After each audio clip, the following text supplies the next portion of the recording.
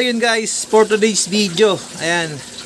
So pasilip ko sa inyo yung mga ghost crayfish natin. So medyo malalaki na tong mga to. Ayan. So watch nyo guys, yung mga kagandahan ng mga ghost natin.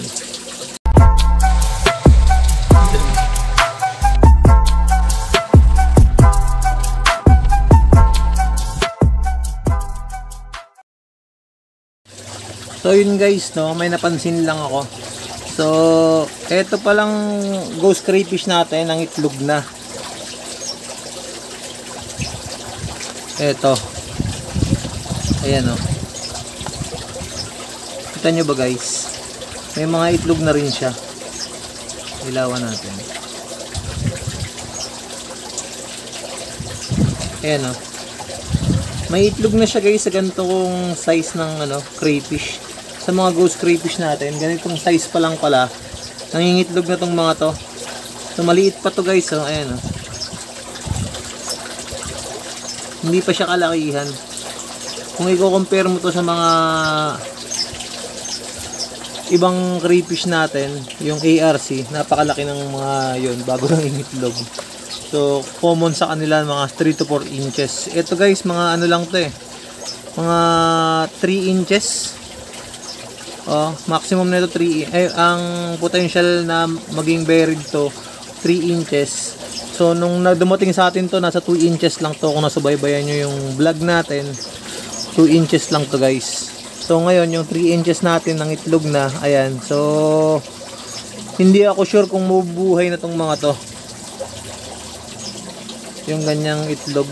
Sa ngayon, konti pa lang yung itlog niya. Pero check natin yan guys. So sa second na pangingitlog nitong ghost crayfish natin na to siguro mga mas dadami na tong ma-produce niya na egg sa ngayon kasi konti lang talaga eh tapos ayan hindi rin maiwasan guys kapag ka nagmumolt nagkakaputulan din sila ng sipit so isa dalawa tatlo yung walang sipit natin so anim na piraso to lalaki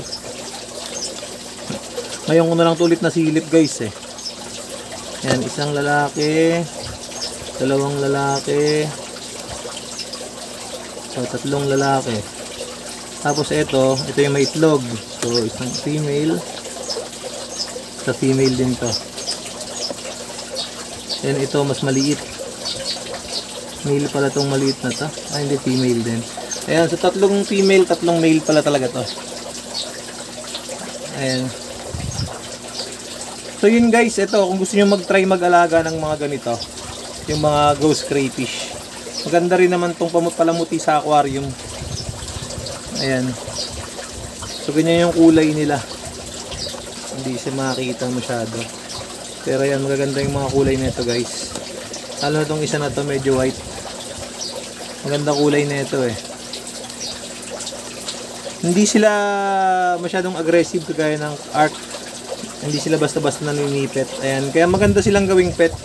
So ako, mas gusto ko to gawing pet kaysa kainin.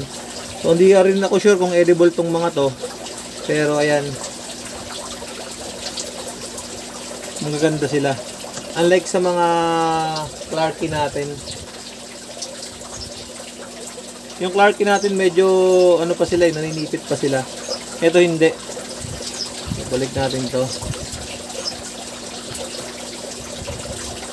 sa mga pet aquarium pet aquarium aquarium sa mga sa mga aquarium pets mas mare-recommend ko talaga red clarky saka ito so ito guys medyo naninipit to kapag ka buried siya kagaya niyan. So may itlog. Pag may itlog guys medyo aggressive yung crayfish natin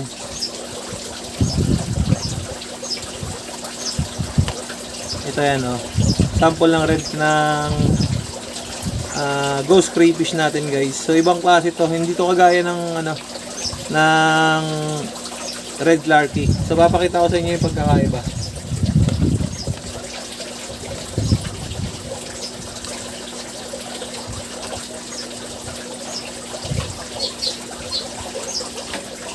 Ito huli tayo ng isang red larky natin.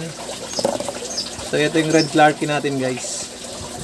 Kung makikita nyo talaga ibang iba yung kulay nila. Ayan. So magkaibang magkaiba yung kulay niyan. Yung nasa left, yun yung red clarky. Ito, yan. Kita nyo guys, pagkakaiba.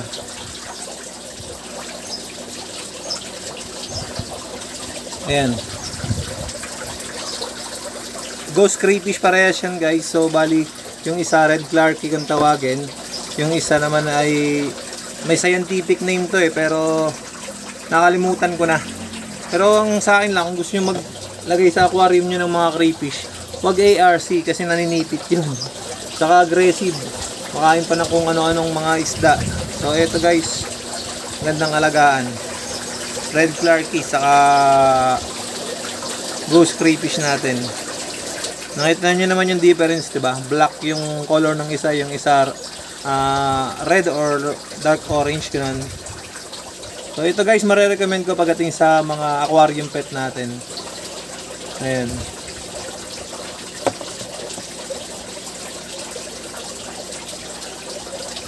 Etong red clarky, hindi rin naman to naninipit, hindi kagaya nung ARC.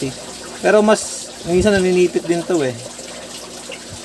Kaya kung sa akin lang, mas secured ako dun sa sa ghost crayfish natin kaysa dito sa mga red clarky na to. Medyo matapang pa tong mga ganito eh. Ayun guys, sa mga gustong mag-order na ito, ayan, marami po tayong stocks. Ayan, available po tayo ng mga red clarky.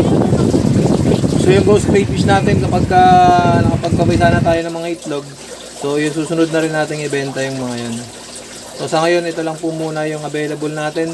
Red clarky sa mga crayfish natin guys. So sa mga gustong mag-order ng crayfish at red clarky natin, yun. PM nyo lang po ako dun sa number natin na nandiyan sa screen. Ayan. Saka sa mga gustong mag-order ng mga crayfish natin, yan, available din po tayo. At syempre guys, kung bago ka lang sa channel natin, ayan, subscribe nyo na rin po yung channel natin. Click nyo yung notification bell natin para na-update ko kayo tuwing gagawa ko ng mga video tungkol sa pag-aalaga ng mga lobster na kagaya nito ng red clarky, Australian red claw, sa mga ghost crayfish natin. So yun guys, hanggang dito na lang yung video natin at maraming salamat sa inyong lahat.